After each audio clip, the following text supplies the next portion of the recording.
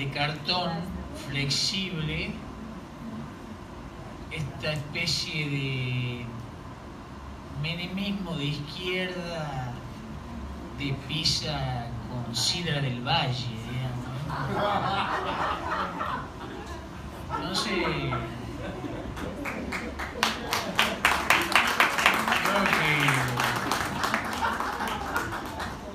Así como monumento es el monumento que nos merecemos los tucumanos, creo que el santo que nos merecemos es así. Un santo de una moral dudosa, eh, acartonada, muy de cartón, pero ojo, no, no estoy juzgando porque el cartón también tiene sus virtudes, las morales van cambiando con el paso del tiempo, se flexibilizan y el cartón hasta se con el agua se disuelve, se lo puede mezclar con carne molida y rebozarlo con pan y hacer milanesas. Entonces creo que San Palito es, digamos, es la auténtica decadencia de nuestra cultura, desde mi punto de vista, por supuesto. Y eso, San Palito, hasta se puede hacer un- una analogía con Palito Ortega, pero creo que eso es la, es la moral de cartón que nos, que nos rige hace mucho tiempo. No está mal, no está bien. Es la, es la cultura que tenemos. Y bueno, simplemente eso. Creo que era fue la parte por el todo del, absurdo, de lo chabacano y, y de, bueno, de nuestra cultura que por ahí hoy está muy en boga, muy, muy, muy criticada, muy atacada. El arte contemporáneo está atacado también y por eso Monumento yo los invito a que lo lean porque bueno, sí, yo lo describo en, yo lo describo en la reseña que es el monumento que nos merecemos, digamos. Y bueno, básicamente San Palito hace alusión de que es un santo que representa esta moral, esta moral de cartón eh, que nos representa hoy.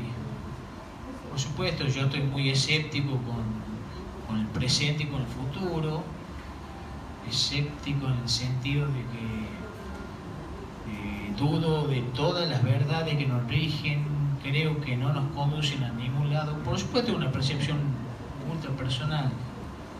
Y creo que esta moral de cartón es la que nos rige y soy escéptico hacia el futuro, hacia el post-futuro y a todo, porque no, no, no, me parece que yo pongo en duda, a través de San Palito, pongo en duda todas las verdades que nos rigen y desconfío de todas ellas. Hasta estar acá escuchándome a mí, no sé, lo pongo en duda, ¿qué estaré diciendo? ¿Qué, qué es esto que estamos haciendo acá? Sinceramente, ¿tiene sentido que me estén escuchando ustedes a mí? Hasta de eso dudo, hasta de esa verdad que para mí es intangible. Y por eso San Palito creo que elegí San Palito porque creo que verdaderamente es muy descriptivo de lo chabacano en que se ha tornado nuestra cultura. Es una percepción es una percepción personal. Yo siempre tuve el problema con los santos, nunca les creí. No quiero persuadir a nadie, a aquellos que quieran ir a rezarle a Expedito antes de ir un examen, bueno, pueden hacerlo. Yo les recomendaría que estudien y nada más. Diga. Eh, la pregunta es sobre el puesto monumento y sobre la explícita crítica al sistema de arte contemporáneo. ¿A vos te parece que es de Lo que verdad? pasa, a ver, Para terminar es, es de verdad un- un- una cosa, se ha convertido en una cosa chabacana y totalmente como un cartón pintado realmente el sistema del arte contemporáneo para vos. Lo que pasa es que San Palito surge de una experiencia. A ver, San Palito al libro en general, yo empiezo a escribirlo desde una situación muy mala mía, en la que me encontraba, digamos, en situaciones muy grotescas.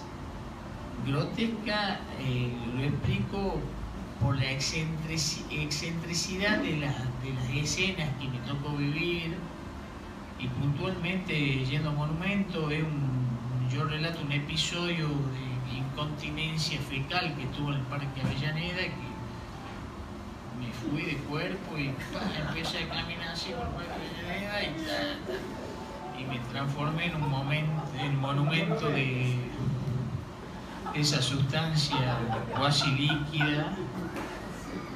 Y después sí, después de ahí podemos ir barajando que,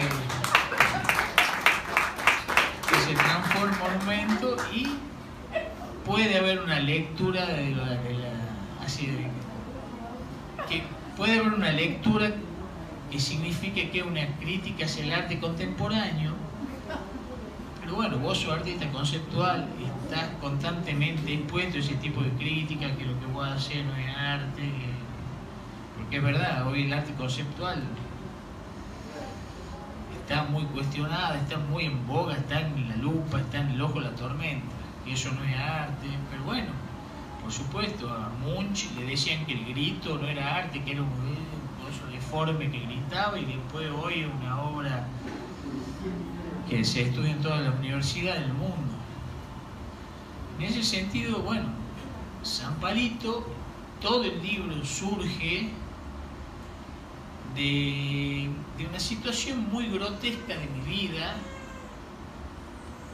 de que vos fuiste testigo de alguna manera, que, bueno, de repente me encontré separado, viviendo nuevamente con mis padres, en la cama de mi adolescencia, el póster de la renga. eh, entonces digo, ¿qué hago acá? Y bueno, por supuesto, el modelo, el modelo ese que, que por ahí nos condiciona, ¿no? ¿Verdad? Que hay que hacer esto y bueno, vos no lo estás cumpliendo. Me llevaron a situaciones muy extremas de, de tomar, drogarme y exponerme a, a situaciones muy, muy, muy bizarras, muy grotescas. Yo un día me voy a hacer una resonancia del cerebro porque estaba sugestionado con lo que me había pasado con mi, que lo que tenía mi padre, que Alzheimer, y yo sugestionado me voy a hacer una resonancia del cerebro.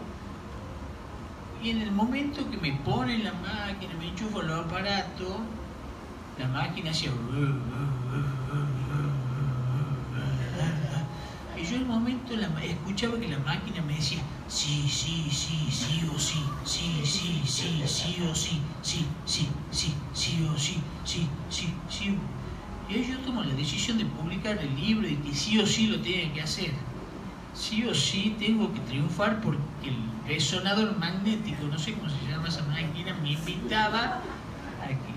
Entonces me puse a situaciones muy absurdas, eh, muy, no sé, pero a la vez esto fue, hace que algo que está muy en boga, hablar de resili- resiliencia, pero bueno, eh, de alguna manera fue así, porque yo en la situación que me encontraba, en depresión, pegado a las drogas, al alcohol, como que intenté escribir algo de más existencialista, siguiendo la línea del de Germán Gese, el lobo estepario, pero un momento yo alejo la cámara y digo, yo no soy Castel, yo no soy Harry Haller, yo soy un bufón que está pobrecitando asco, tirado, cagándose en el parque, escuchando el resonancia magnética que dice que sí o sí.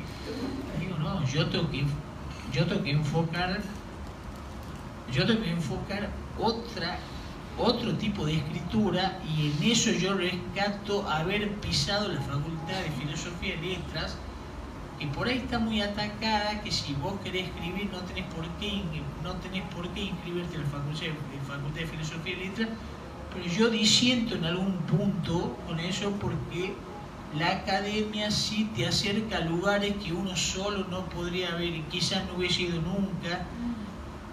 No sé, yo nunca hubiese leído La olla de Plauto, tragedia eh, picaresca, El Buscón de Quevedo, El Lazarillo de Tormes, nunca hubiese leído, no sé, El Buscón de Quevedo. Entonces como que ahí acudí a, esa, a ese tipo de literatura y digo, por acá va la mano, si yo no soy tragedia, yo soy comedia. Lo que me está pasando a mí es completamente bufonesco, extravagante, y yo soy comedia, no soy tragedia. Entonces ahí es donde vi que el humor, que verme a mí como un bufón grotesco, eso me dio la pauta de que mi literatura, mi escritura tenía que ir por ese canal.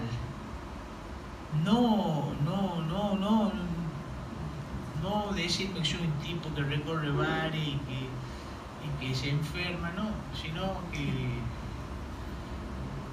y debo ir a aplicarme, o sea, debo reírme de mí mismo. Y en ese sentido, bueno, por ejemplo, acá mi jefe, el Carlos Alberto Reynoso, un día me dijo, porque en este proceso yo eh, estaba tan desdichado que estaba sexuado, no me interesaba nada. Y Charlie me dice, bueno, si no se te para, resale a San Palito. Y de ahí fuimos esbozando este personaje, fuimos encontrando, bueno, le ofrecimos esta erecta reliquia, este totem sacro, palo santo.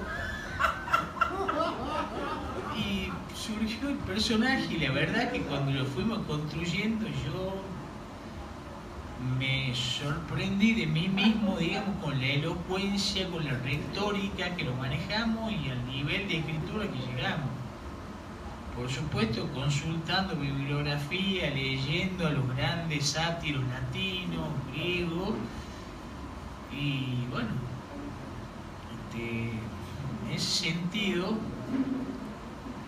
me, me ayudó mucho tomarme con humor.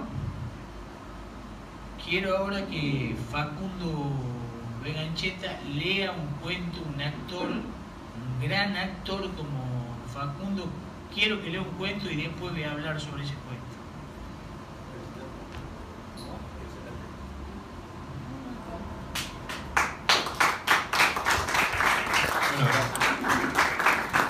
gracias.